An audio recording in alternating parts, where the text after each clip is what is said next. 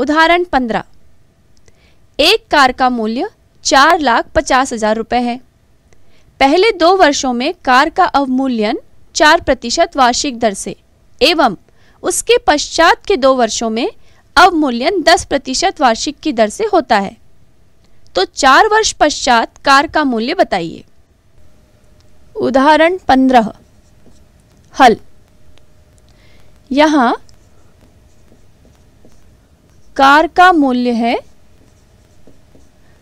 Car का मूल्य बराबर चार लाख पचास हज़ार रुपए। अवमूल्यन की जो दर दी गई है, वह पहले के दो वर्षों के लिए अलग और अगले दो वर्षों के लिए अलग है। इसलिए हम अवमूल्यन के दर में, अवमूल्यन दर जो है, उसे पहले दो वर्षों के लिए प्रदर्शित करेंगे आर वन से। तो ये दी गई है चार प्रतिशत वार्षिक। और समय जो है, वह है समय एन वन बराबर दो वर्ष, क्योंकि पहले दो वर्षों के लिए जो दर दी गई है, वो चार प्रतिशत वार्षिक है। उसके पश्चात अगले दो वर्षों के लिए कहा जा रहा है कि अवमूल्यन की जो दर है अवमूल्यन दर, जिसे हम R2 से प्रदर्शित करेंगे, वह है 10 प्रतिशत वार्षिक। और समय फिर से जो होगा वह दो वर्ष होगा, लेकिन हम इसे दिखाएँगे N2 से। और अब अभिष्ट मूल ज्ञात करने के लिए हमारे पास सूत्र हो जाएगा, अभिष्ट मूल्य बराबर वस्तु का मूल्य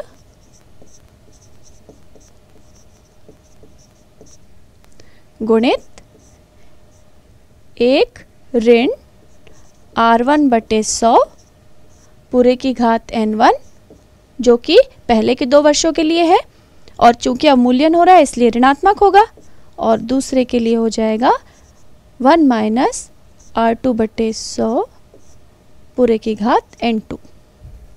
अब सभी का मान हम रख लेते हैं तो हमें प्राप्त होगा, वस्तु का मूल्य जो दिया गया है, वो है चार लाख पचास हज़ार गुणित आर वन का मान चार प्रतिशत वार्षिक है, यानी कि चार बटे सौ, और एन वन है दो वर्ष।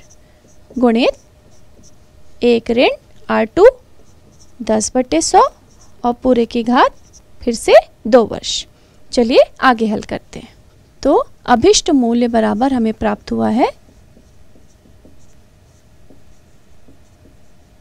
अभिष्ट मूल्य बराबर चार लाख पचास हज़ार गुणित एक ऋण चार बटे सौ पूरे की घात दो गुणित एक ऋण दस बटे सौ पूरे की घात दो।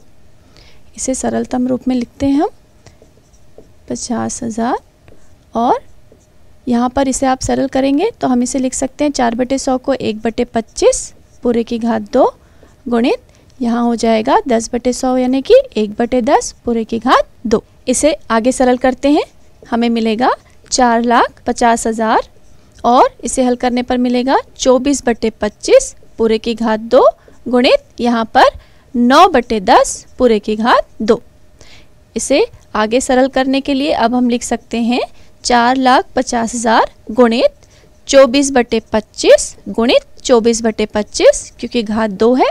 इसी प्रकार इसे भी लिखा जा सकता है नौ बटे दस गुणित नौ बटे दस।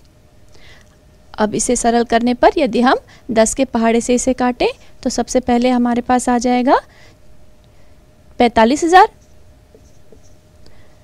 इसके पश्चात पुनः दस से काटने पर हमें मिलेगा चार हज़ार पाँच सौ। पुनः पच्चीस से काटने पर पच्चीस से कम पच्चीस और ये कटेगा एक सौ अस्सी बार में।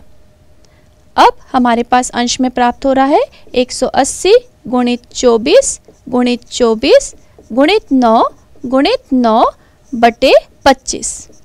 यानी कि इसे हम लिख सकते हैं सात दशमलव दो, एक सौ अस्सी में पच्चीस से यदि भाग दे दें तो सात दशमलव दो, गुणित चौबीस गुणित चौबीस, गुणित नौ गुणित नौ।